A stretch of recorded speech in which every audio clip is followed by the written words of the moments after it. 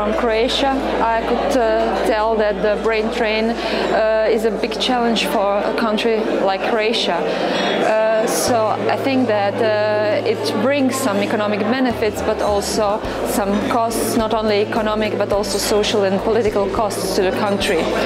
Um, if you would ask me whether I would uh, support people to flee away and to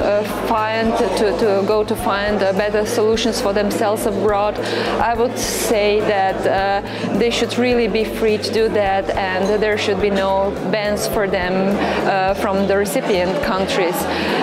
Because if they would have better prospects in their countries of origin, they would probably choose to stay in those countries.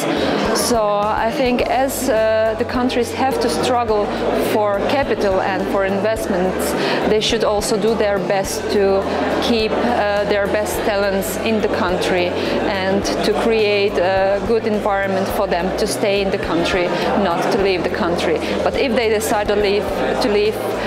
it's, it's, it's okay.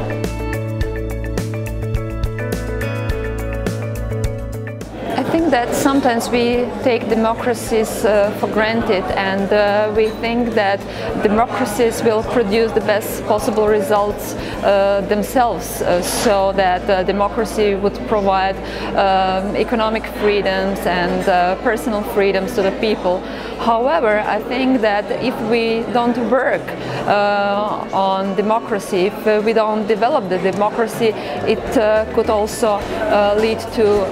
unfavorable results. Therefore, we should edu educate the people uh, how to uh, participate in the, democracy, how uh, they could also uh, make uh, the uh, outturns of the democracy better than it than it is. Um, well, I would say that in our in my country, in Croatia, um, principles of democracy should be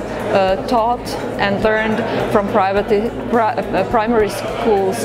onwards uh, because otherwise people think that someone else would take the responsibility for the outturns of the democracy and uh, they should be taught that it's up to themselves and that